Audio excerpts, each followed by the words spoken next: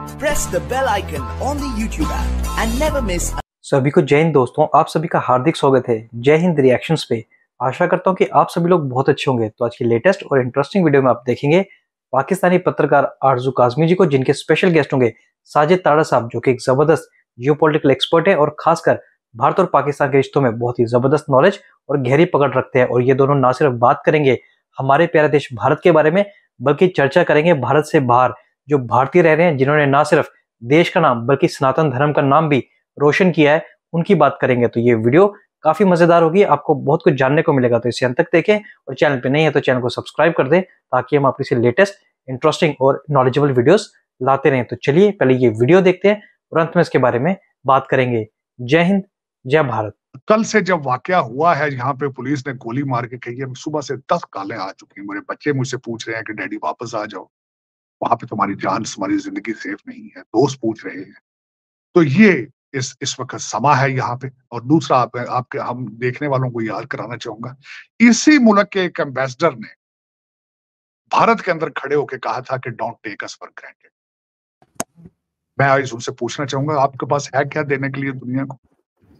जब आप अपने एक ex ex president future president और the most popular Republican candidate को आप सेव करने की सलाहियत नहीं रखते। तो दुनिया को क्यों बता रहे हो अभी जाके कि you don't take us for granted क्या कर लोगे उनका? भी तो बना लेगा। तो मैं फिर उसके बाद ये जो हमारे अमेरिकन एम्बेसडर हैं इस वक्त जो कैलिफ़ोर्निया या लॉस एंजलिस के मेयर थे जो इस वक्त इंडिया में मेयर हैं, मैं उनसे पूछना पसंद करूँगा ये कि भाई अब आप कहाँ जाएँगे? अब आप आप जो भाषण हमें दे रहे हैं आप सब कॉन्टिनेंट में। आप आज भी, मैं तो पहले भी ये कहता था, पाकिस्तान के अंदर जो अमेरिकन एम्बेसडर होता है, वो इसी तरह होता है जिस तरह वॉइस रॉय होता है। लेकिन आप ये गलती कर रहे हैं भारत के अंदर, क्योंकि आज आप चल भी सिर्फ़ भारत की वजह से रहे हैं।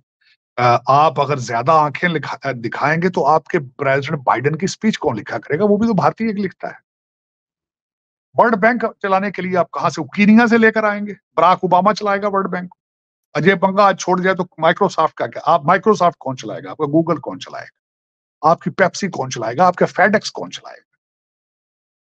आप सर इस पूरे में भी एक एक इंडियन कनेक्शन इसमें भी एक नज़र आ रहा है। आज इंडिया मैं बल्कि सुबह आप आपको पता है जो मेरी एसोसिएशन दोस्तियाँ तो आ, बहुत ज़्यादा है भारत के अंदर। सुबह से मेरी आज भी मुबारकबादें आ रही हैं दे रहे हैं जा रहे हैं। मैं सुबह कल इंटर कल बल्कि एक जगह इंटरव्यू दिया वहाँ भी मैंने मुबारकबाद दी उनको कि देखें जी। और उषा उषा उनका नाम है। आ, और मैं ये सिर्फ़ ये नहीं कहूँगा कि वो भारत की थी जरा उसका उसके उसके क्रेडेंशियल्स भी चेक कर। उसके क्वालिफिकेशन भी येल से लास्ट कौन से पढ़ी येल से। उसके पेरेंट्स बहुत दोनों प्रोफेसर हैं। अरुणाचल प्रदेश से लेकिन ये कि कोई ऐसे नहीं है कि मेरा मकसद है कि चलता फिरता सामने आ गया है। और कल सबसे बड़ी बात यह है कि मैं कल, और इनके बच्चे का नाम भी वैवेक है। इनके तीनों बच्चों का। और सबसे बड़ी बात जो मैं सबसे ज़्यादा प्राइड के साथ चीज़ ये कहता हूँ हमेशा शी इज़ प्रैक्टिसिंग हिंदू। और उनका हस्बैंड जो है वह फार राइट से बिलोंग करता है बल्कि वो कैथोलिक कन्वर्ट उन्होंने किया and she was very supportive मैंने उनकी तस्वीरें देखी हैं जहाँ उन्होंने माथे पर तिलक लगाया है जेडी वाइस। मैं इस चीज़ की बहुत ज़्यादा इसकी वैल्यू करता हूँ। कल मेरी विवेक रामा स्वामी से मेरी मुलाकात हुई है रिपब्लिकन नेशनल कन्वेंशन में और फ्यूचर में फिर मिलेंगे। मेरे, मेरा वो हीरो है। हमारी रिपब्लिकन पार्टी कंजर्वेटिज्म का फ्यूचर है वो और मैं उसकी मजीद इसलिए इज़्ज़त करता हूँ कि ही इज़ प्रैक्टिसिंग हिंदू इसी वजह से मैं ऋषि सोनक की रिस्पेक्ट भी करता था, करता रहूँगा कि ही इज़ प्रैक्टिसिंग हिंदू क्यों? हमारी निक्की हेली जिनका नाम नम्रता रंधावा है, मैं भी जट हूँ, वो भी जट है, उन्होंने अपनी सिख ही डिनाउंस कर दी है। वो ओपनली गले में क्रॉस पहन के कहती है, मैं क्रिश्चियन हालाँकि उनका वालद जो है, आज भी टर्बन पेरेंगे उसके बाद हमारे बाबी जिंदल है, वो भी रिपब्लिकन है कंजर्वेटिव है गवर्नर रह चुके न्यू ऑर्लैंड के। पंजाबी हिंदू है, लेकिन उन्होंने भी डिनाउंस करके वो कहते हैं, मैं क्रिश्चियन हो चुका हूँ। ये कमज़ोर लोगों की, कमज़ोर पर्सनैलिटीज की अलामतें होती जो जो भी आपका मज़हब है, और हर मज़हब अच्छा है दुनिया का उसको प्रैक्टिस करें। आप अपने मुँह पे ज़्यादा पाउडर लगा लेने से गोरे नहीं बन सकते। मैं आज ब्लू किस्म के लेंस पहन लूँ तो मैं ब्रिटिश नहीं बन सकूँ। यही कम, कमजोरियाँ हैं लोगों में और मैं इस चीज़ को पर्सनैलिटी का फला समझता हूँ। तो ये हकीकत थी लेकिन ये कि मैं समझता हूँ। और दूसरा देखें आरसू बात यह है मैं हमेशा ये पूछता हूँ हम लोग तो यहाँ आते हैं लूटे फूटे देखें कहीं से भाग जान बचा के भागना पॉलिटिकल असाइली होना एक अलग चीज़ होती है।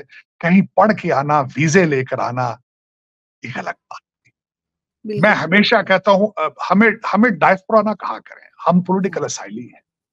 मैं बिल्कुल फिट पड़ता हूँ पॉलिटिकल असाइली के डेफिनेशन में। मैं अपनी जान बचा के भागा था और इस कंट्री ने मुझे पनाह दी है।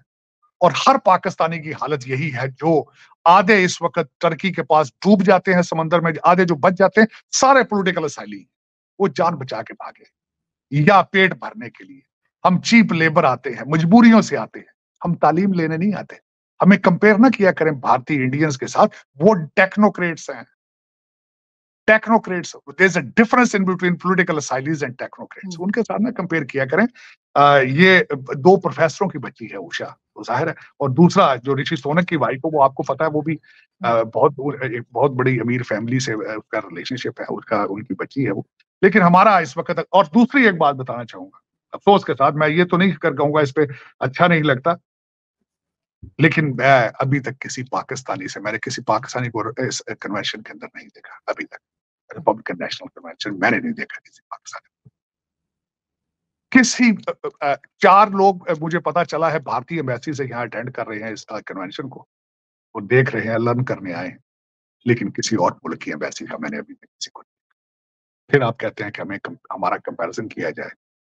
हमें आप मुझमें मुझे अक्सर ब्लेम करते हो कहते हैं कि बहुत बैड माउथ पाकिस्तान और यू राख एजेंट तो मैं किसका एजेंट मुझे क्या फ़ायदा किसी के एजेंटी करने का?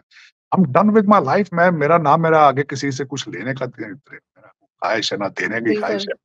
मैं तो पॉलिटिकल साइंस का एक स्टूडेंट हूँ लॉ का स्टूडेंट हूँ मैं और ये पैशन है मेरा। और दूसरा ये कि अगर आपको मेरे इंडिया से प्यार करने की आपको ज़्यादा तकलीफ़ है तो वो मैं उसका कुछ नहीं कर सकता हूँ। मेरी उसकी वजह मेरा वहाँ रिलेशनशिप है मेरे भाई हैं। मैं सारी ज़िंदगी प्यार करता रहूँ मेरा हिस्सा है वो। मैं उनको नहीं छोड़ सकता वो मुझे नहीं छोड़ सकते। आपको तकलीफ़ है तो होती रहे मैं उसका क्या कर सकता उसका कोई देर इज़ सर अगर कोई चीज़ अच्छी सर अगर कोई चीज़ अच्छी हो रही है भारत में तो तारीफ़ तो बनती है। हम कुछ कह तो नहीं मैं सकते। आरज़ू आरज़ू कोई चीज़ अच्छी अफ़गानिस्तान में होगी मैं उसकी भी तारीफ़ करूँगा। हाँ, एक अच्छी चीज़ बांग्लादेश होती मैं उसकी भी हाँ। तारीफ़ करूँगा। कोई ज़रूरी तो नहीं है। और दूसरी बात है इतनी नफरत भारत से क्यों करनी भाई? किस चीज़ की मैं नफरत करूँ? मेरे I have no differences with them मेरा कोई किसी मेरे मैं रात को भी उनके सब सबके साथ बैठा हूँ खाने खाए लोगों के साथ मिलके हूँ चंडीगढ़ से लोग थे लुधियाने से लोग थे सारे मेरे भाइयों की तरह एवं सारा दिन उनसे मिलता हूँ। मैं हाँ मुझे मुझे कोई पाकिस्तानी मिलता मैंने उसको भी गले लगाना था लेकिन मिले तो सही कोई। फिर तो ख्वाहिश मैं तो ढूंढता फिर रहा हूँ उनको भाई। मैं तो ढूंढता फिर मुझे कोई नज़र तो आया इनवाइट नहीं किया गया या या वो वाले नहीं है।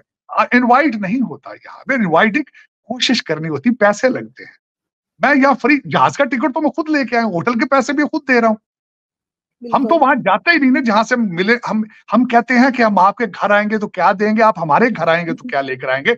ये अमेरिकन आपको रिपब्लिकन पार्टी इस तरह आपके घर पे पैसे आपको उठा के नहीं लाते।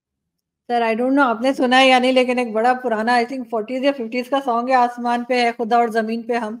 तो मुझे लगता है कि वही कुछ चल रहा है कि इस तरफ़ खुदा हमारी तरफ़ नहीं देख रहा आजकल। और मुझे एक और खासकर दुख है आरज़ू मैं कसम से मैं आपको देखता हूँ दिल खून के आँसू होता है कि आपको हमने 1947 में आपके साथ धोखा किया। मैं कहा आप आओ हम आपको पाकिस्तान देंगे। आओ पाकिस्तान का मतलब क्या? आओ तुम्हें हम इस्लाम देंगे। इधर आओ भाई। टू नेशन थ्योरी है तुम हिंदुओं के साथ नहीं रह सकते इधर आओ। हम लूटेंगे तुम्हें। धोखा हुआ आपको देखता हूँ आपको देखता हूँ तो दिल छलनी हो जाता है। आपके मुझे भी सर बहुत अफसोस होता है टू नेशन आपके जूतों में आपके जूतों में पाँव डालता हूँ तो चीखें निकल जाती है। ये अच्छा नहीं लेकिन चले। दुआ खैर क्या हो सकती है और क्या कर सकते हो? इसके अलावा कर भी क्या सकते हैं? चीख चीख ही सकते हैं रो ही सकते हैं मिलके इसके अलावा हम कर भी क्या सकते हाँ, अब टाइम को दोबारा वापस नहीं ले जाया जा सकता। बहुत शुक्रिया सर कि आपने ज्वाइन किया। थैंक यू दोस्तों आशा करता हूँ कि वीडियो को आपने अंत तक देखा होगा। और हमेशा की तरह आरज़ू काजमी जी और साजिद तारस साहब का ये पूरा डिस्कशन और उनके पॉजिटिव व्यूज़ आपको काफ़ी पसंद आएँगे जहाँ पे इन्होंने ना सिर्फ़ तारीफ़ की हमारे प्यारे देश भारत की, बल्कि उन हिंदुओं की जो भारत से बाहर रहते हैं, पर अपने देश के लिए और अपने सनातन धर्म के लिए वो गौरव का प्रतीक है। तो आशा करता हूँ वीडियो आपको काफ़ी पसंद आएगी। वीडियो अगर आपको अच्छी लगी है तो इसे लाइक और शेयर ज़रूर कर दें और अपने विचार हमें कमेंट सेक्शन में लिखकर ज़रूर बताएँ। और एक बार फिर, चैनल पर नहीं है तो चैनल को सब्सक्राइब कर दें ताकि हम आपकी लेटेस्ट इंटरेस्टिंग और दमदार वीडियोस लाते रहें। तो चलिए फिर मिलेंगे ऐसी किसी ज़बरदस्त और मज़ेदार वीडियो में। तब तक अपना ध्यान रखिए। जय हिंद, जय भारत।